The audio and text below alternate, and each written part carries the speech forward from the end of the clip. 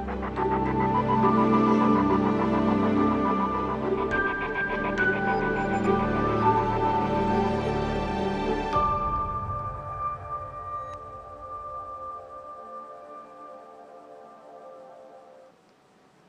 amici e cari amiche di Total Photoshop, ben trovati in questa nuova puntata con la nostra Tutorial TV. Io sono la Cri e quest'oggi siamo in compagnia con il buon Photoshop. Ci occupiamo in questa puntata di contrasto, ovvero di un percorso che possiamo seguire per attribuire maggior contrasto, maggior nitidezza e definizione alle nostre immagini e lo facciamo utilizzando i canali. Ma banda alle ciance, entriamo subito nel vivo di questa nuova puntata. Eccoci qua, davanti a una bellissima foto scattata dal nostro Max e immediatamente potete notare che mi sono aperta anche il pannellino dei canali, proprio perché adesso andremo semplicemente semplicemente a scorrere lì, sono i canali di rosso, verde blu, quelli classici dell'RGB, dello scatto fotografico, e andiamo a definire il canale che ha maggior contrasto. In questo caso il blu è proprio quello che fa al caso nostro.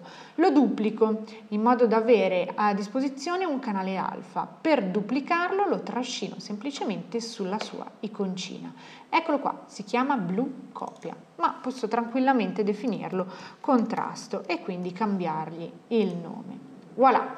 Il canale ora lo abbiamo, dobbiamo attribuirgli un filtro per fare in modo di ottenere um, una maschera per la nostra immagine. Sì, i canali sono ovviamente le immagini in scala di grigio di ciascun riferimento colore della nostra immagine.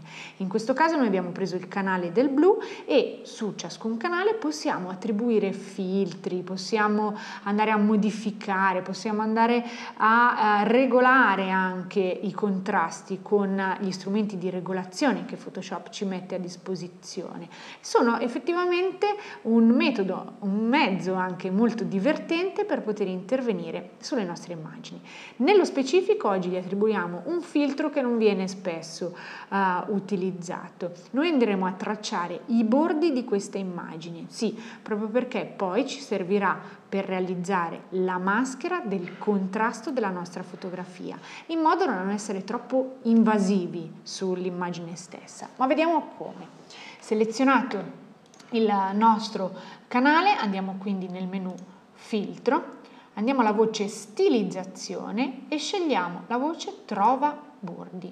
Immediatamente in bianco e nero ecco che vengono tracciati i bordi della nostra immagine. Come vi ho detto prima possiamo tranquillamente andare a attribuire anche delle regolazioni. Ecco perché attraverso uh, la scorciatoia da tastiera Command L apriamo il pannello dei valori tonali e muovendo il cursore dei grigi ecco che possiamo tranquillamente attenuare i grigi per dare maggior spazio ai bianchi e ai neri. Molto bene, diamo un bel ok.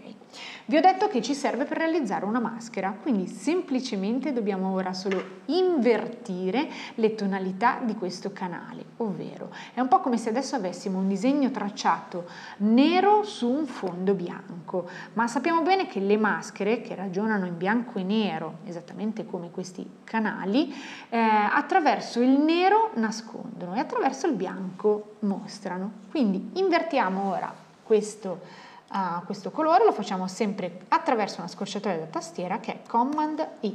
Voilà, abbiamo un bel disegno bianco su sfondo nero.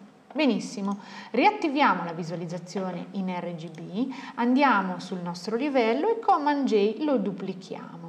Perché? Perché ora andremo attraverso il menu filtro alla voce nitidezza, scegliamo la, la, voce nitidezza avanzata e andiamo a regolare appunto la nitidezza di questa immagine. Possiamo tranquillamente muovere i cursori fattura fattore, quindi del raggio, quindi l'estensione nostra, uh, del nostro contrasto. Vedete che più aumento il raggio e più aumenta l'azione, proprio il numero dei pixel che eh, vengono presi in considerazione per questa modifica. Quindi io direi di scendere leggermente con il raggio e di uh, ridurre anche il disturbo un po' meno, in modo che si veda la grana. Molto bene, diamo un bel ok ed ecco la nostra modifica. Voilà!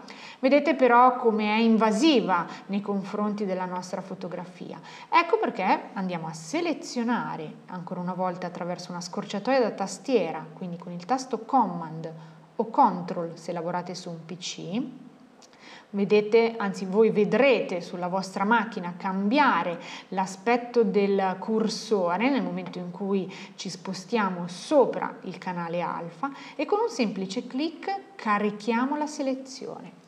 Ora che abbiamo tutte le formichine, quindi la selezione attiva del nostro canale, non facciamo altro che creare con un semplice clic la maschera sul livello del contrasto.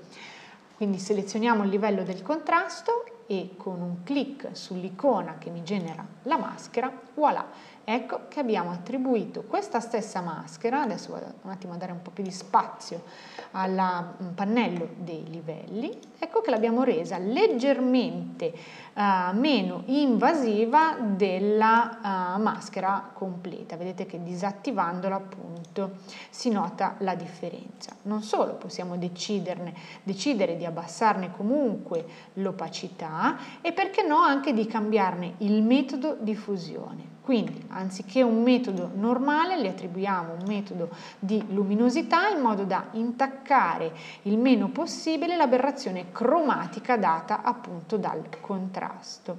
Ecco qua il prima e il dopo e grazie al canale alfa e al filtro trova bordi abbiamo dato maggior nitidezza e contrasto a questa splendida immagine. Questo è un sistema che possiamo utilizzare in diverse tipologie di fotografie, ad esempio fotografie che riguardano l'architettura o perché no nelle macro, quando dobbiamo definire eh, particolarità che sono ingrandite magari in maniera spropositata. È comunque un percorso che ci aiuta, ci insegna eh, a sfruttare i filtri, magari attribuendoli appunto ai canali come abbiamo visto, insomma tutti gli strumenti e i percorsi che Photoshop ci mette a disposizione per raggiungere il nostro obiettivo. Non mi resta ora che che augurarvi buon divertimento con Photoshop, vi ricordo di iscrivervi gratuitamente alla nostra newsletter e di comunicare con noi attraverso tutti i social network. I click li trovate qua sotto. Ciao a tutti e alla prossima dalla CRI.